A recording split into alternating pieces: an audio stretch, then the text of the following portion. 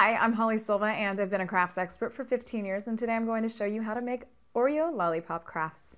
Here I have an Oreo cookie and a really skinny popsicle stick and a ribbon. You can use any ribbon, any color, any shape, any size that you'd like. I like blue because when I look at the Oreo wrapper, I think blue. I don't know why. So you're going to tie a pretty little ribbon around it and make a bow. You don't have to make a bow. You can just make a simple little knot. I like bows though.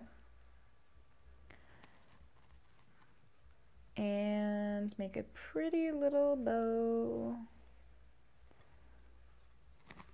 There we go. That's a nice little bow. It's much easier to handle the stick and the bow without the Oreo on it because you don't want to break the Oreo.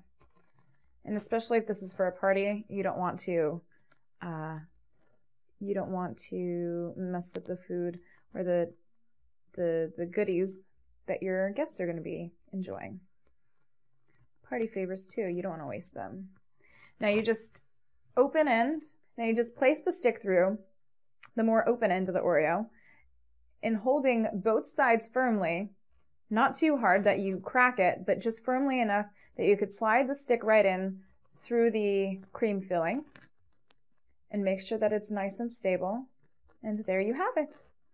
That is your Oreo lollipop craft. Now you can make a couple of these or a few of these and make a really great bouquet and stick it in a foam block if you have one. That would be a really fun idea too. See you next time.